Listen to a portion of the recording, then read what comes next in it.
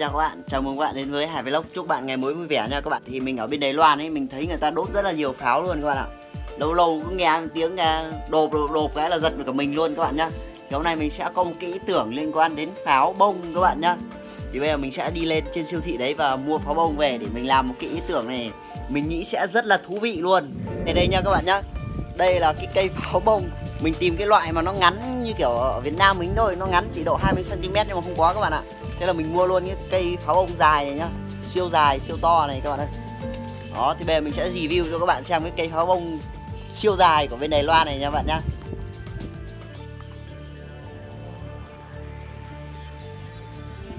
Đây các bạn này. Độ dài của nó, mình thử đo xem nhá. Một, hai, ui rồi ba găng tay của mình nó khoảng là 60 cm nha các bạn nhá. Đó còn ở bên ngoài này đây là cái giá tiền đó này các bạn này. Đó đây là giá tiền nhá 59 khoai. Rồi thì à, ở mặt bên này là hình như đây là 10 số lượng của nó 10 cây nha các bạn nhá. Đây mình sẽ mở ra cho các bạn xem nó như thế nào nhá. Bởi vì cái hàng này ở Việt Nam mình trước kia mình đốt cái loại nó bé bé này này có sang đây gặp hàng khủng luôn. Wow. đây các bạn này. Ui dồi ôi toạc nó như cây hương này á. đây các bạn nhá, bên ngoài có một lớp giấy bóng ni lông bọc nhá. Đó. Đó, mình sẽ đổ ra nha. Đây. trời ơi, đúng như cây hương. Để xem 10 cây không nhá. Ba này, sáu, đúng 10 cây nha các bạn nhá. Nó mình, đúng là cái mùi này, mùi ờ, mùi giống mùi ờ, giống mùi gì ta? Giống mùi pháo bông. Ok các bạn này, đây là một cây nhá. Thì ờ, cái phần này là phần que cầm nha các bạn nhá. Bằng sắt đấy ừ đúng rồi, bằng sắt các bạn nhá đó bắt đầu phần thuốc nó ở đây nhá. Được uh, một găng tay rưỡi khoảng là 30 cm 30 cm là cái phần nó cháy các bạn nhé wow. to cho các bạn này có mình có 10 cây nha các bạn nhá. Hôm nay cái ý tưởng của mình sẽ là sẽ buộc vào cái quạt các bạn ạ. Cái quạt quạt điện ấy đó để mình sau đó mình sẽ bật điện lên vào buổi tối xoay cho nó xoay xem nó như thế nào nha các bạn nhá. Nếu các bạn thấy cái clip này của mình thú vị thì cho mình một like một đăng ký để ủng hộ mình nhá. Ok các bạn nhá. Hôm nay mình sẽ chơi pháo bông với quạt này nhá, để xem là nó sẽ đẹp như thế nào các bạn ạ. Đó, các bạn có hình dung không? Mình sẽ gắn pháo bông vào những cái cánh này, sau đó bật điện lên cho nó xoay. Đó, để xem là gắn pháo bông vào quạt quay thì nó sẽ như nào nhá các bạn nhá. Đó, bây giờ mình sẽ mở cái quạt này ra trước đã các bạn ơi.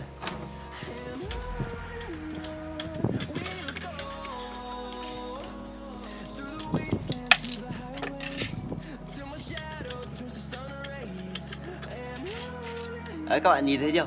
Tháo quạt ra nhìn nó buồn cười đấy Không biết sau cái lần nghịch này là quạt nhà mình nó có hỏng luôn không? Kệ nó chưa Bắt đầu mình sẽ lắp lại cái cánh cho nó. Cái phần cánh quạt đấy, để bắt đầu mình sẽ dán pháo bông vào nha các bạn nhé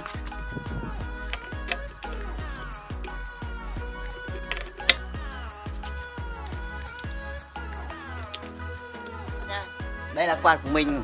Thì à, mình sẽ treo pháo vào đây như này các bạn ơi Treo cái cây pháo bông rồi đó mình đang nghĩ cách là để làm cách nào treo cho nó ok nhất này các bạn này.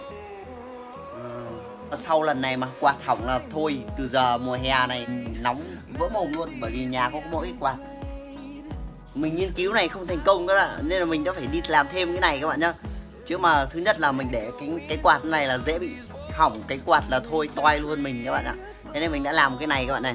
Đó cái chốt này mình sẽ đút vào cái trục quạt và hai cái đầu này mình sẽ treo pháo vào thì nó yên tâm hơn nha các bạn nhá. Mà dễ làm hơn, chứ như thế này mình buộc pháo vào rất là khó các bạn ạ. Ok, bây giờ mình sẽ thay luôn các bạn nhá.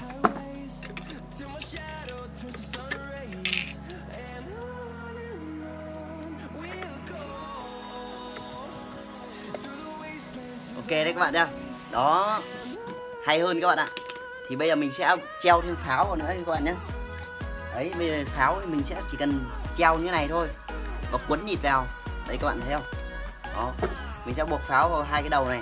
Thế là nó, nó kiểu cảm giác là nó sẽ yên tâm hơn là mình cái quạt của mình nó không bị hỏng và chắc chắn hơn các bạn. Đó bởi vì mình buộc cái cánh kia nó hay lung lay lắm. Đó về mình sẽ dùng nhịt mình quấn vào là ok nha các bạn nhé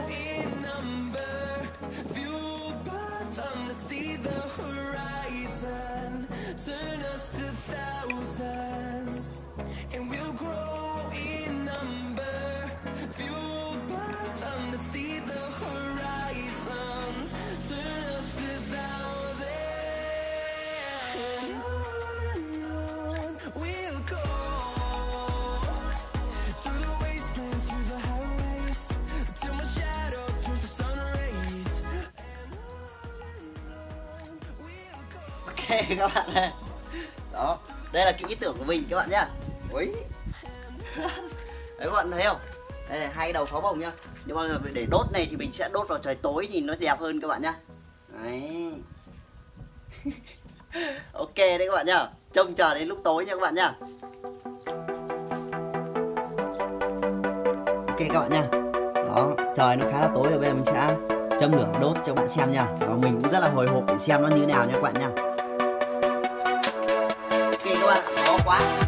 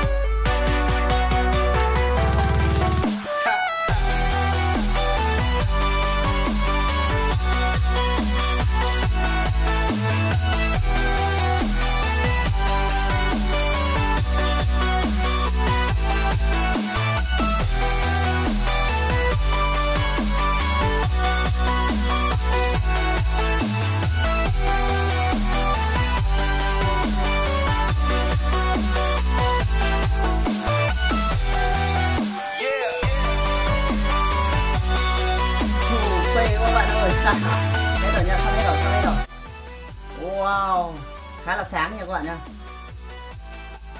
Ok các bạn nha, bây giờ chúng ta sẽ cùng xem nha Xem cái pháo bông nó sẽ như nào nha. Wow, các bạn xem này. Cái phần à, phần phần thuốc nó cháy này. Đó, các bạn thấy không? Ờ, Cũng khá là đẹp nha các bạn nha. Đó, hai bên là cháy đen xì luôn các bạn này. Đó, còn mỗi cái lõi sắt thôi. Đây. Còn cái lõi sắt thôi nha. Đó wow, khá là chất nha tiếp tục mình làm thêm một một uh, một lần đốt nữa các bạn nhá. Cho nhìn cho nó đẹp nha các bạn nhá. Ok các bạn nhá. Tiếp lại lần hai nha các bạn nhá.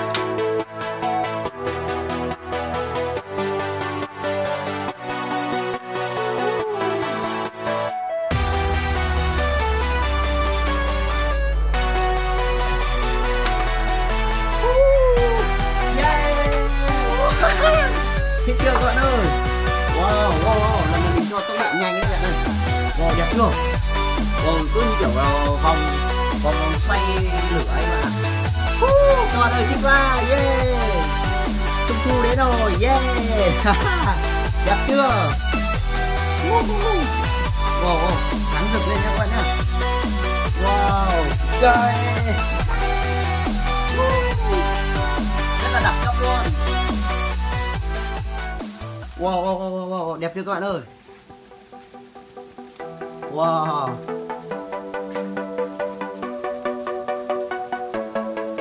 Wow, đã chưa? Đó, khá là sáng nha các bạn, nó sáng rực lên đấy.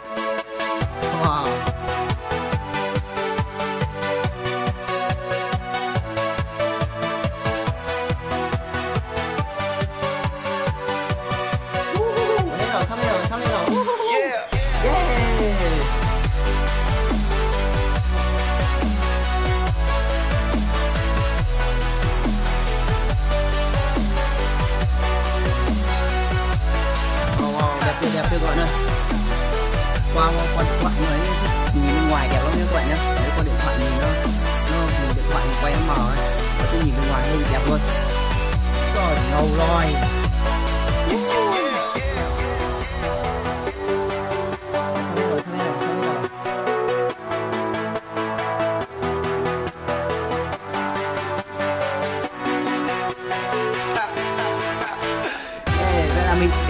nhá. Nếu các bạn thấy clip này hay, cho mình một like một đăng ký kênh và ủng hộ mình nha hẹn gặp lại các bạn ở video sau. Chào các bạn. Bye bye.